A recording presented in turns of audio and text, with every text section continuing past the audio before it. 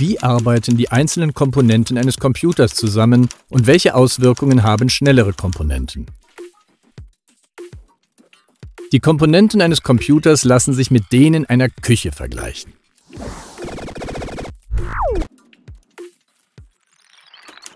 In einer Küche fällt jede Menge Arbeit an. Damit die Gäste rechtzeitig ihr Essen erhalten, muss der Koch schnell arbeiten. Er sollte die Zutaten möglichst schnell schneiden und effizient portionieren.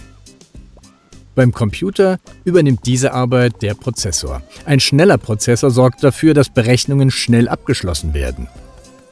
Das ist wichtig, damit unser Film oder Spiel flüssig läuft. Je höher der angegebene Gigahertzwert, desto mehr Zyklen durchläuft der Prozessor pro Sekunde. Ein Prozessor hat außerdem mehrere Prozessorkerne. Wir sprechen typischerweise von Dual-Core, Quad-Core oder Octa-Core. Gibt es an einem Abend nur eine Tomate zu schneiden, bringen natürlich auch viele Köche nichts. Genauso sind viele Computerkerne erst dann sinnvoll, wenn diese auch parallel genutzt werden können. In einer Küche gibt es jede Menge Arbeitsflächen, die sind wichtig zum Arbeiten und damit auch mal ein paar Teller halbfertig rumstehen können. In unserem Computer übernimmt der Arbeitsspeicher diese Rolle. Auf den kommt es an, wenn die Programme auf viele Daten zugreifen oder wenn wir mehrere Programme parallel laufen lassen wollen. Reichen die Arbeitsflächen nicht, muss ein Teil ausgelagert werden. Und so lagert auch der Arbeitsspeicher Teile der Daten auf die Festplatte aus. Deshalb kann es bei manchen Anwendungen etwas dauern, bis sie reagieren. Große Lagerschränke helfen, die vielen Vorräte, die man in einer Küche hat, zu verstauen.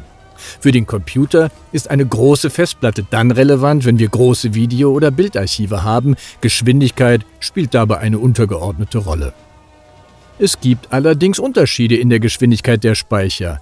Wir merken es sofort, wenn wir eine SSD, ein Speichermedium ohne bewegliche Bauteile, verbaut haben, statt einer traditionellen HDD die Daten auf einer rotierenden Magnetscheibe speichert. Der Start des Rechners oder das Laden von Programmen geht dann deutlich schneller. Der Gast des Kochs ist gewissermaßen der Computernutzer.